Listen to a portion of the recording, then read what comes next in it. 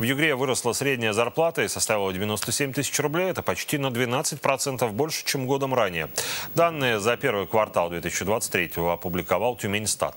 В реальном выражении заработная плата выросла чуть менее, чем на 7,5%. Самые высокие перечисления зафиксированы на предприятиях, выпускающих коксы и нефтепродукты, а также ведущих добычу нефти, газа и полезных ископаемых. Сотрудники таких компаний получают от 135 до 167 тысяч рублей в месяц. Меньше всего зарабатывают те, кто занят в производстве резиновых и пластмассовых изделий, трудятся в сферах растениеводства, животноводства, охоты, рыболовства и рыбоводства. Оплата услуг в этих сферах не превышает 35,5 тысяч рублей.